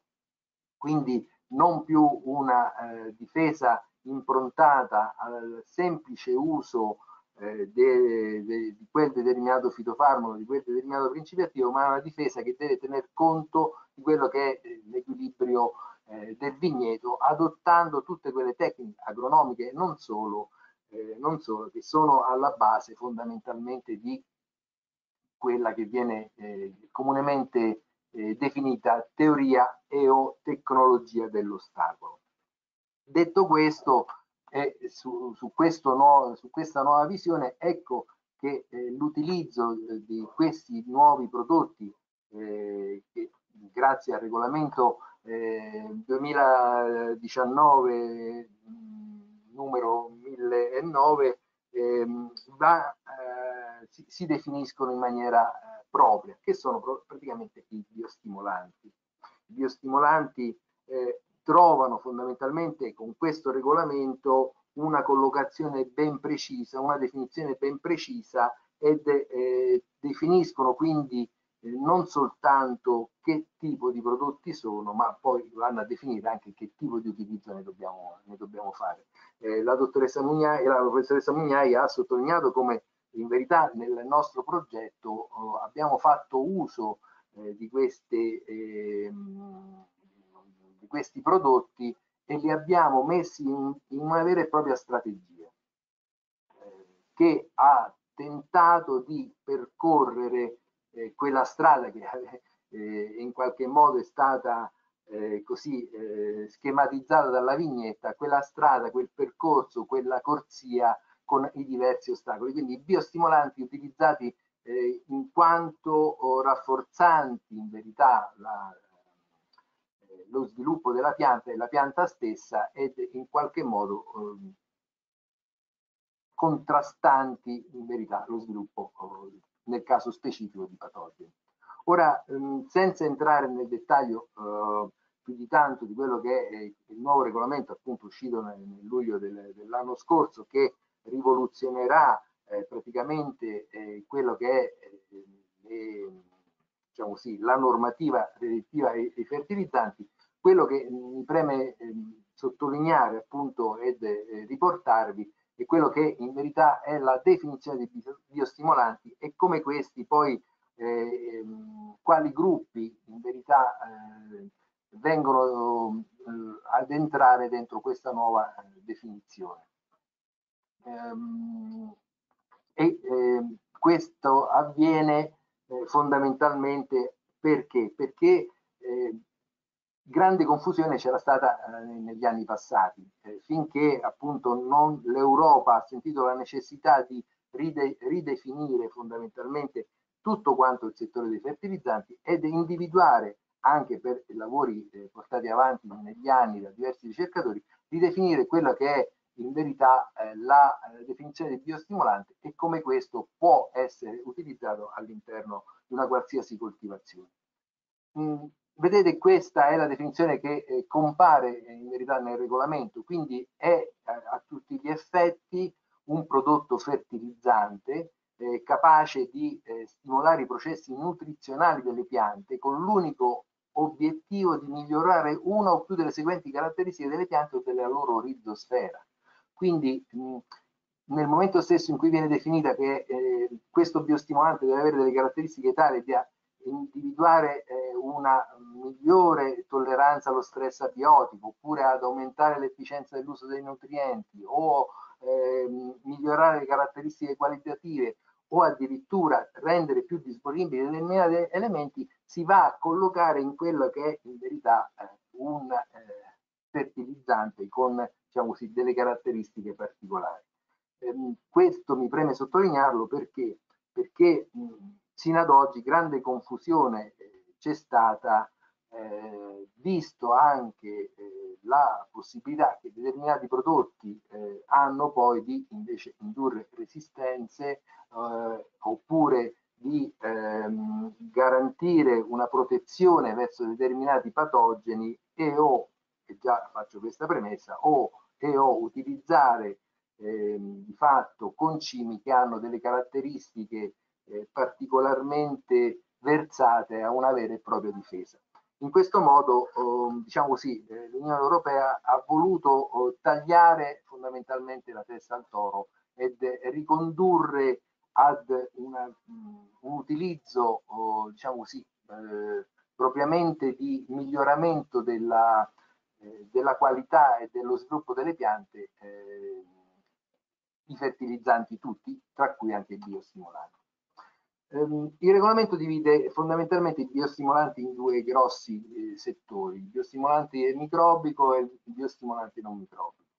Ehm, nella prima parte eh, sono annoverati appunto oh, batteri, azotobacter ed anche lo stesso trigoderma nelle diverse formulazioni.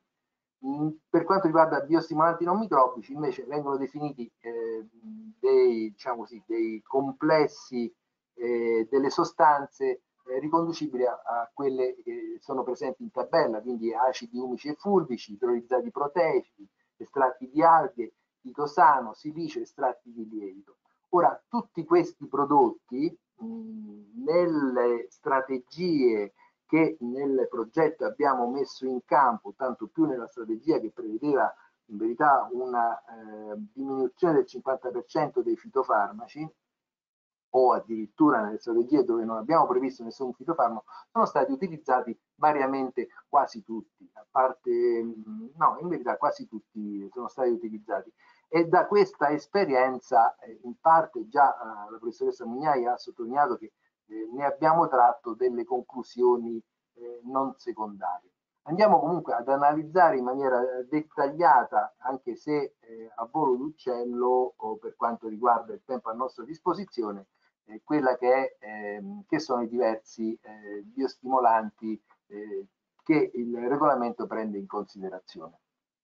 Um, in viticoltura vengono utilizzati eh, in vario modo per quanto riguarda i biostimolanti microbici, vengono utilizzati sia in fase di impianto fondamentalmente, ma eh, sono anche presenti in ehm, soluzioni eh, variamente eh, utilizzate per via fogliare. L'esperienza che noi abbiamo maturato, eh, che cosa ci dice? ci dice che nel caso oh, dei eh, trattamenti all'impianto con eh, questi tipi di eh, biostimolanti microbici, ehm, le risposte della pianta eh, all'utilizzo appunto di questi, ehm, di questi, prodotti risultano essere eh, differenziate a seconda appunto di quale tipo di eh, prodotto andiamo a utilizzare. Come vedete dalla tabella noi abbiamo in verità eh, provato eh, quattro tesi diverse con ehm, ceppi di eh, tricoderma, in questo caso diverso, eh, ed addirittura una tesi presente anche eh, funghi del genere Glomus ehm, che eh, hanno oh, portato a delle evidenze sperimentali particolarmente interessanti.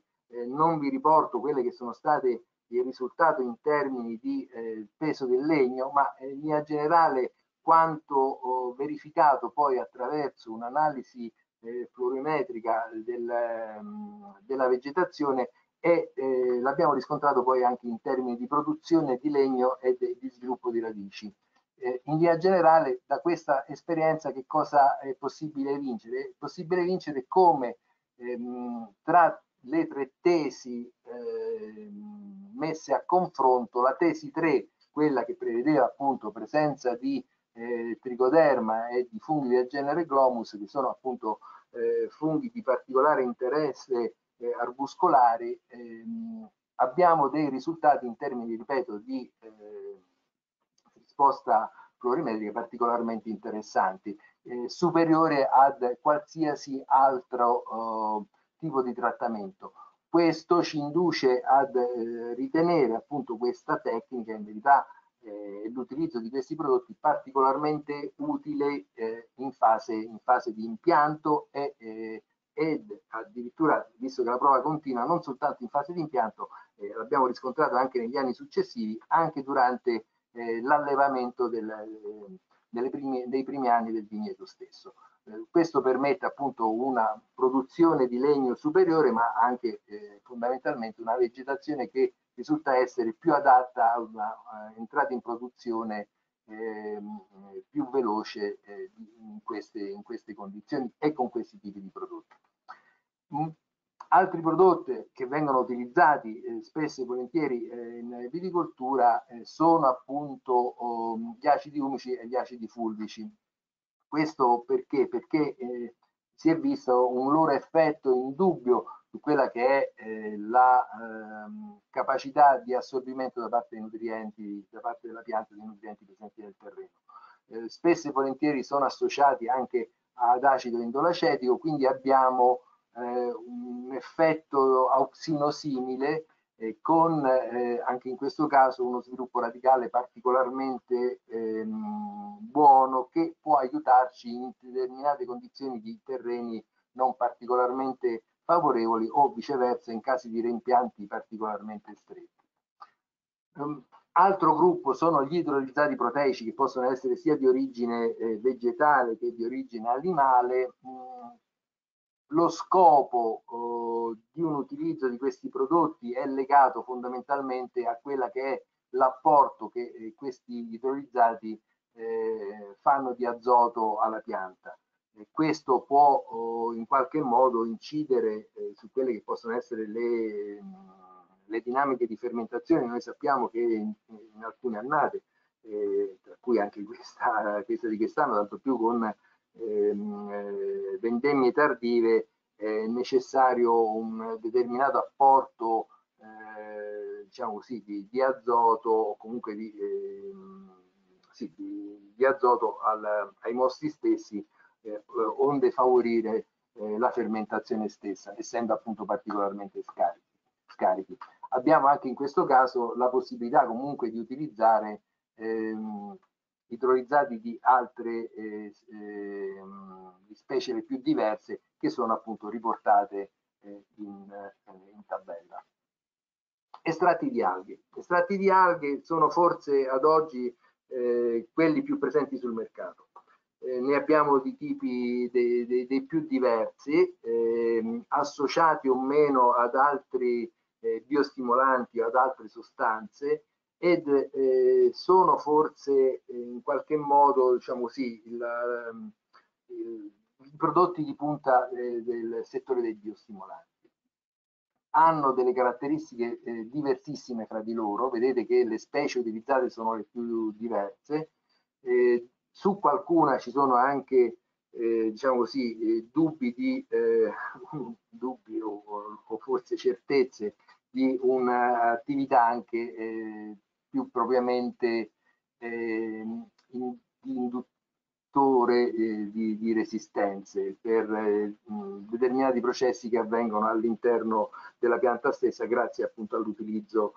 di, di questi prodotti in tutti i casi appunto vengono utilizzati eh, ed è bene utilizzarli considerando in maniera dettagliata quelle che sono le schede eh, dei singoli prodotti.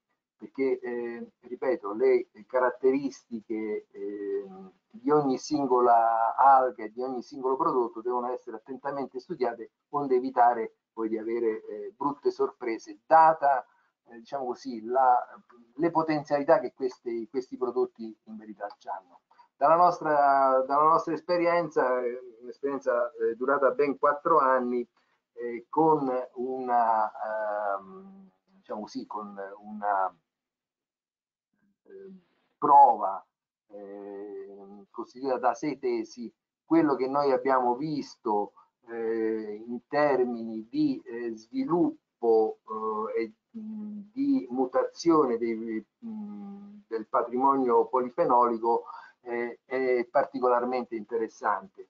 Se, ehm, se, voi vedete la, la, tesi 4 è in verità eh, la tesi che contiene la minarina. Diciamo subito che il eh, contenuto polifenolico eh, misurato in questi quattro anni eh, non è variato, o, sono variate però le diverse percentuali diverse, dei diversi composti con eh, andamenti alternati ehm, a seconda appunto del, dei singoli prodotti con però interessanti, interessanti scoperte ad esempio uno fra tutti il resveratrolo eh, dove eh, di fatto eh, si, è, si, sono registrati dei eh, aumenti nel caso della tesi 4 ad esempio eh, non così eh, immediati e notevoli come ci saremmo aspettati, ma ehm, comunque interessanti e paragonabili, se vogliamo, ad,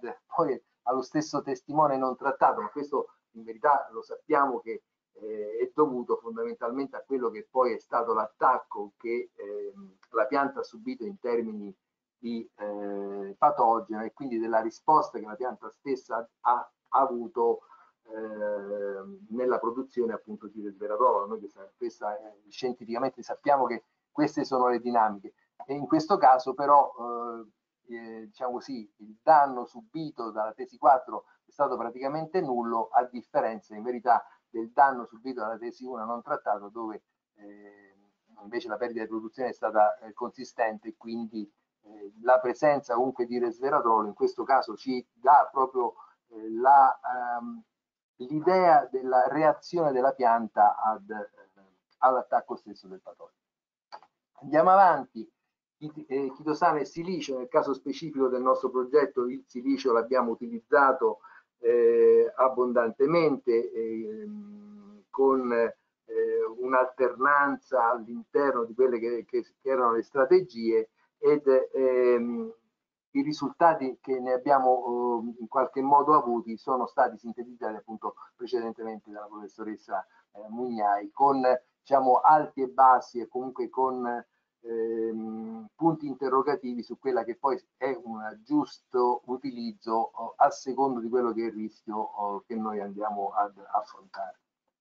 Estratti di lieviti. Estratti di lieviti, anche in questo caso gli estratti di lievito devono essere intesi quale biostimolanti, quindi all'interno dei fertilizzanti, nonostante eh, sono più diversi, generalmente eh, questi lieviti, la composizione di questi estratti di lieviti sono eh, veramente più diversi ed in questo caso i risultati che se ne ottengono risultano essere non sempre eh, così determinabili. Pertanto anche in questo caso è necessario conoscere dettagliatamente quella che è la scheda e le potenzialità che l'eventuale prodotto eh, presente, quindi un, un, suo utilizzo risulta essere eh, e deve essere quanto mai consapevole. Eh, in questo caso noi abbiamo voluto mettere a confronto um, in quelle che sono state le strategie eh, portate avanti appunto da, dal progetto un prodotto che è in verità un prodotto registrato come fitofarmaco con eh, un prodotto invece ehm, di fatto oh, utilizzabile quale biostimolante, quindi non, eh, non mh, registrato quale eh, fitofarmaco. L'intendimento e l'intenzione qual era? Era quello di valutare se appunto, così come avevamo già visto per le alghe, eh, c'era un mutamento in quello che era, poteva essere il profilo polifenolico e se eventualmente eh, c'era qualche ehm, diciamo così, influsso eh, su quelli che potevano essere gli stilbeni. Ora, eh, per un prodotto ce lo aspettavamo, per un altro in verità eh, era tutto quanto da verificare. Gli stilbeni sono appunto delle sostanze che eh, sono precursori, diciamo così, di quelle che possono essere delle, ehm, delle, resistenze che la pianta mette in atto nei confronti fondamentalmente di patogeni, fondamentalmente anche in questo caso peronospora per lo più, eh, oidi in seconda, in seconda battuta.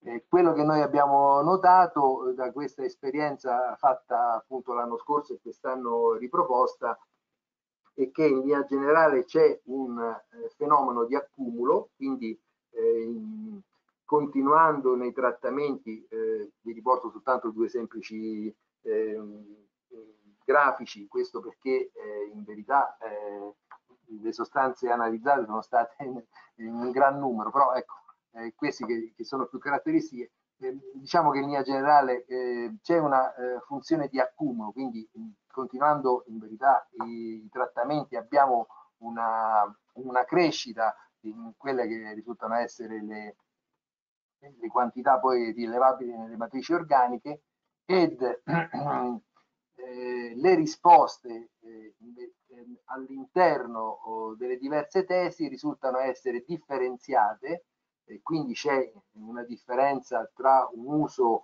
come nel caso specifico di un fitofarmaco eh, registrato come, come, tale ed invece di un biostimolante e questa risposta eh, ha delle differenze che possono essere eh, analizzate e devono essere considerate proprio nella, nell'idea che eh, i biostimolanti non possono essere eh, utilizzati quanto fitofarmaci, ma devono essere utilizzati in un contesto più generale di eh, protezione della pianta e di rafforzamento eh, delle difese della pianta.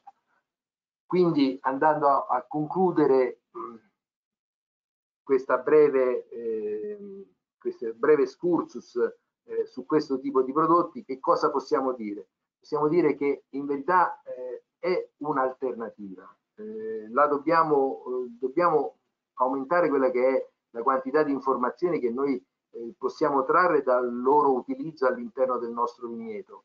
Ehm, ci sono delle, de, delle, sostanze, ci sono dei prodotti che eh, possono essere ehm, e possono fun funzionare o comunque possono dare eh, portarci a una viticoltura di maggior qualità, tanto più se eh, gli obiettivi eh, che eh, ci vogliamo porre sono degli obiettivi particolarmente eh, diciamo così, eh, importanti, quale appunto una riduzione dell'impatto della, in questo caso, difesa, sì, eh, della difesa del vigneto sull'ambiente. Mm. Ancora, eh, qualora nel, nell'ulteriore studio di questi prodotti eh, si venisse a individuare che questi risultano essere a tutti gli effetti eh, prodotti fitosanitari, eh, il legislatore eh, dovrebbe in qualche modo intervenire ed eh, necessariamente o levare dal mercato questo tipo di prodotti oppure richiedere quello che è un processo autorizzativo che nel caso della difesa dei prodotti fitosanitari risulta essere particolarmente eh, lungo, forse anche costoso, ma sicuramente importante per la salute di tutti quanti eh, gli operatori e i consumatori. Grazie per l'attenzione. Grazie, grazie mille Mauro, veramente interessante. Apriamo ora lo spazio per la discussione, quindi invito anche gli altri relatori ad attivare il microfono e webcam e prima abbiamo tre rapidissimi sondaggi per completare uh, il quadro. Il primo è, vi chiede se ritenete che l'ecosistema viticolo possa essere migliorato dall'uso di prodotti quali appunto i biostimolanti e gli induttori di resistenza. Risposta semplicissima, un sì o un no e uh, direi che si sta evidenziando un, un plebiscito, aspettiamo rapidamente di arrivare ai due terzi dei votanti come sempre e appunto direi che abbiamo oltre il 98 oltre il 90% il 97% per la precisione che sostiene eh, il sì. L'altra domanda è se ritenete eh, pardon, che i biostimolanti o gli induttori di resistenza siano utili ed efficaci per migliorare le condizioni fitosanitarie del vigneto, che qui la, la risposta è molto semplice, quindi non c'è da, da pensarci troppo.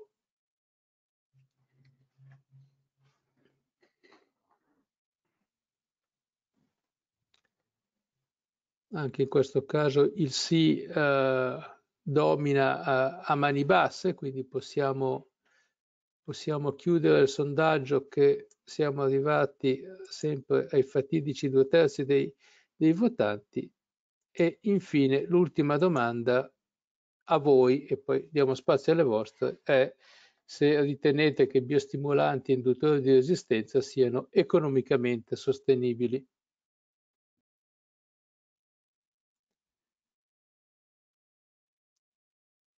In questo caso la, la vittoria del sì è meno netta, anzi c'è un, non dico un testa a testa, ma insomma c'è più o meno i due terzi dei, dei votanti ritengono che comunque sì e un terzo dice ma insomma tutto sommato anche no. Benissimo, chiudiamo, chiudiamo i sondaggi, apriamo lo, lo spazio discussione e, eh, e quindi era arrivata qualche domanda. Intanto agli interventi di, di Fabio. Prima era um, un commento di Nicola che chiede spesso il concetto di metallo pesante, quindi di rame, non mette tutti d'accordo. Vorrei pensare, sapere cosa ne pensano i relatori in merito. Quindi in realtà è una domanda rivolta a tutti. Come. Sì, penso sia un po' rivolta a tutti, ma io posso dare una, una risposta mia personale come agronomo. Io considero il rame un metallo pesante, un fitofarmaco da utilizzare con estrema cautela perché naturalmente come tutti ha dei pro e dei contro. Naturalmente in questo momento non possiamo farne a meno, soprattutto nel mondo del bio, eh, però bisogna utilizzarlo sempre con estrema cautela e anche lo stimolo nostro di tecnici è quello lì di utilizzare tutto ciò che conosciamo per poterne ridurre anche l'uso e utilizzarlo nel miglior modo possibile in modo che ogni utilizzo che facciamo sia il più possibile efficiente a tutela di nostra, degli operatori di tutto il mondo e dell'ambiente. Poi se gli altri possano, vogliono dire qualche cos'altro, però mi sembra non, non dobbiamo avere delle preclusioni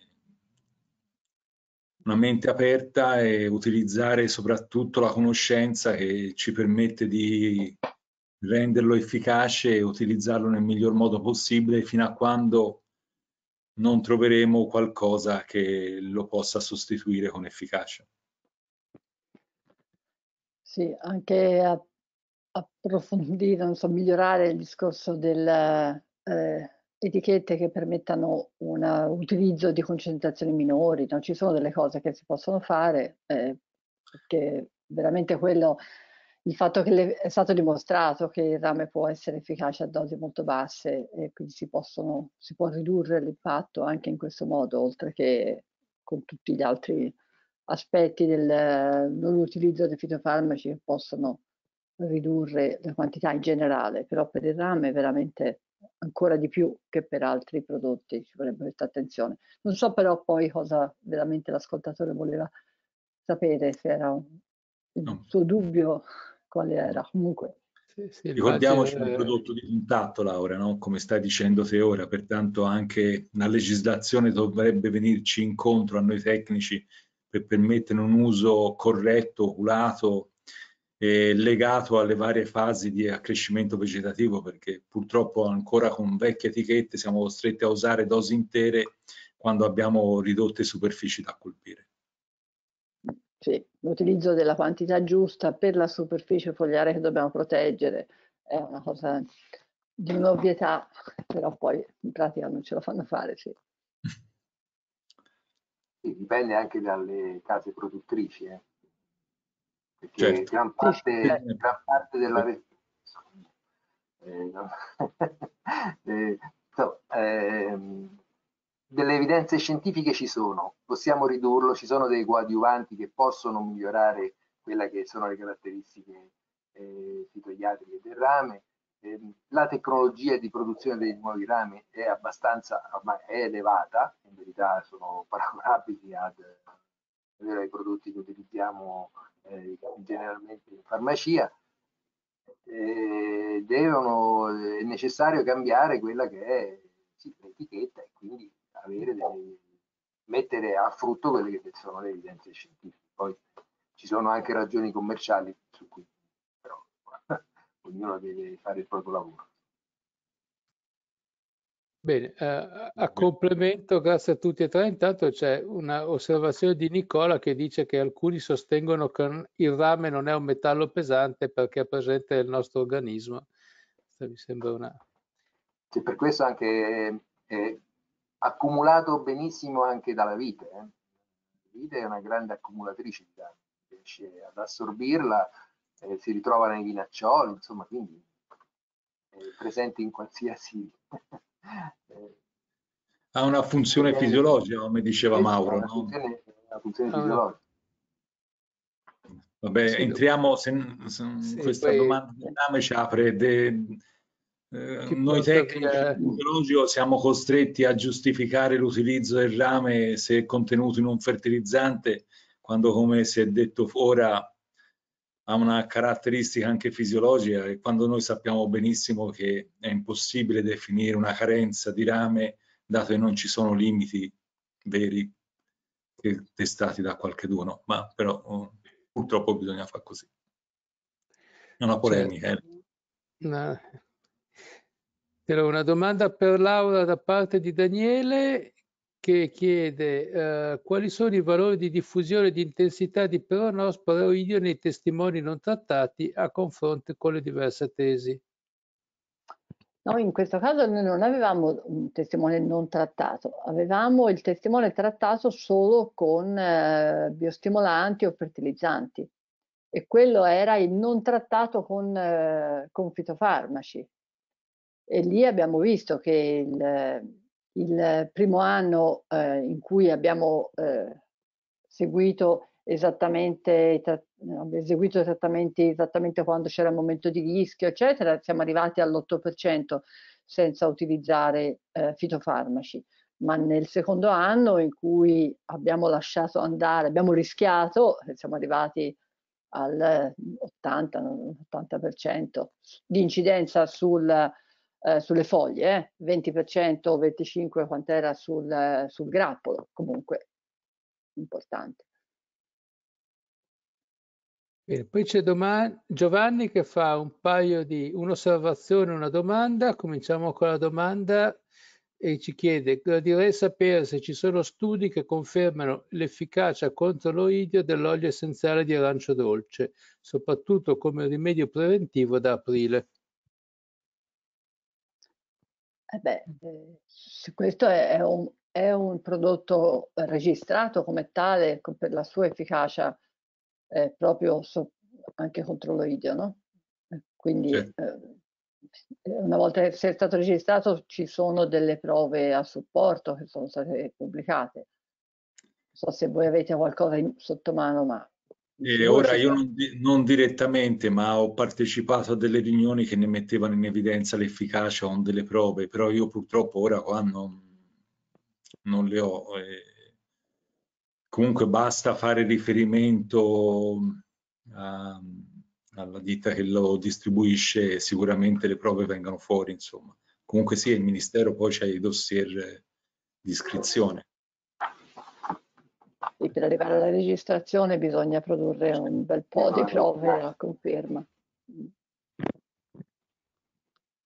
E Nicola ci chiede se anche il bicarbonato è efficace contro l'oidio. Sì, posso rispondere io? Sì, è efficace contro l'oidio, sì, sì, certo. ho, ho delle prove in corso eh, con dati ancora non pubblicati, ma se prendiamo le giornate fitopatologiche ci sono ben tre lavori, insomma, quindi... Beh, comunque c'è anche un prodotto a base di bicarbonato di potassio registrato per questo uso. Eh, sì, sì, sì, Che ha una buona efficacia, no? Buona efficacia, anzi addirittura lì, visto che insomma abbiamo in parte sfiorato l'argomento degli induttori di resistenza, insomma c'è dalle prove che abbiamo fatto c'è poi una, eh, un processo ossidativo molto molto importante, nel senso che è efficace contro, eh, contro l'oide va bene per quello che è, però poi insomma nelle matrici vegetali abbiamo eh, trovato dei, una, una, risposta ossidativa molto importante, quindi evidentemente c'è anche una reazione della pianta altrettanto importante. Beh, poi Beh. vi dicevo, Giovanni aveva questa sua osservazione che poi vi lascio commentare. Eh, dice, mi domando questo, molte delle tecniche oggi raccomandate, ad esempio sovesci plurispecifici, inerbimento, uso di corroboranti, osservazione, sono state da alcuni decenni oggetto di diffusione e stimolo da parte di viticoltori sensibili ad approcci organici come quello della biodinamica. Questa è storia. Perché di questo non viene detto niente? In fondo si potevano anticipare molte tecniche più rispettose del suolo e dell'ambiente molti anni prima con innegabili vantaggi. Sembra di eh. capire che sia una difesa, no. Una, sì, anzi un'apologia del biologico e del biodinamico. Eh, purtroppo nel, soprattutto nel periodo eh, diciamo successivo a quella della cosiddetta primavera silenziosa, in cui abbiamo praticamente una buona parte della viticoltura si è difesa su, eh, si è arroccata con i principi di interventismo, avendo a disposizione tanti principi, e ha abbandonato tutta una serie di connessioni e di principi agroecologici che solo esclusivamente nell'ultimo ventennio sono stati riacquisiti eh, tante pratiche che sono state, che ora sono di dominio da tutte le parti, non vengono più messe in discussione, dobbiamo ringraziare tante persone che nel corso del tempo l'hanno mantenuto in vita. E di questo naturalmente bisogna renderne conto. Ci sono delle, dei principi di certificazione non soltanto italiani ma europei che hanno portato in avanti i principi di connessioni agroecologiche, tunnel ecologici all'interno dei vigneti che boh, io quando ho iniziato la mia professione all'inizio degli anni 90 non se ne parlava nemmeno in viticoltura convenzionale. Oggi invece eh, tutti ci basiamo su quelli e dobbiamo essere capaci fortunatamente di far forza su queste esperienze passate per poterle migliorare come abbiamo fatto con questo progetto. Benissimo.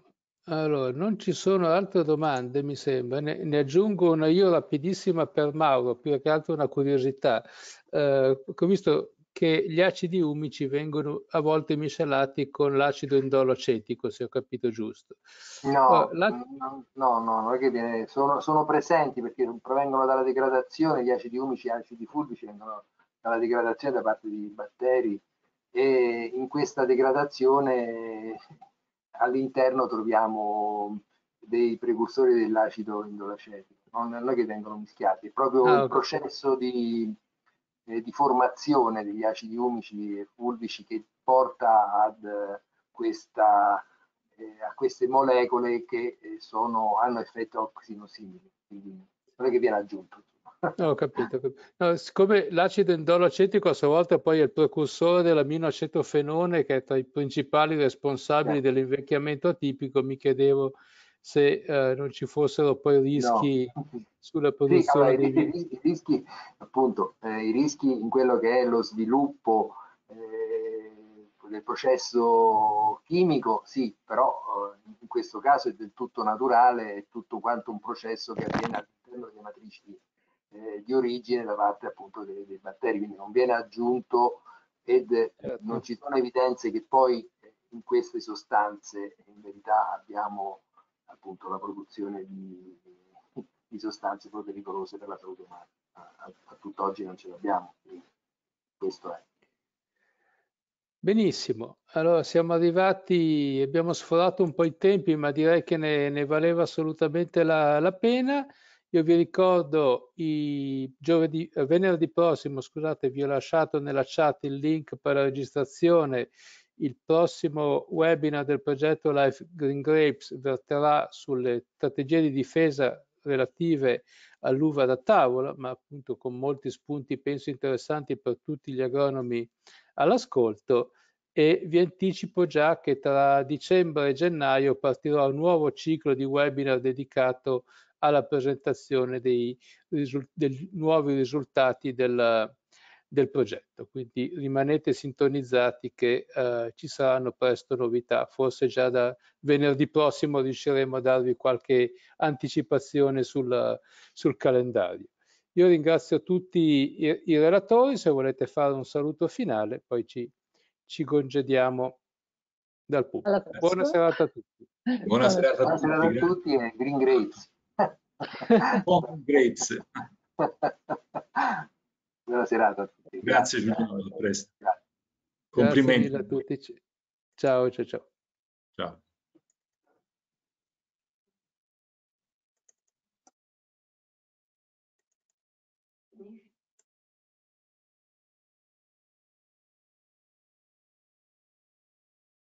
Chiude. Ciao, bravi, bravi, bravi, brava Laura. Grazie, Veramente, ciao. Dai, ci sei fatta. Ciao ragazzi. Ciao a tutti, chiudo. Ci sentiamo ciao. settimana. Ciao ciao. Ciao.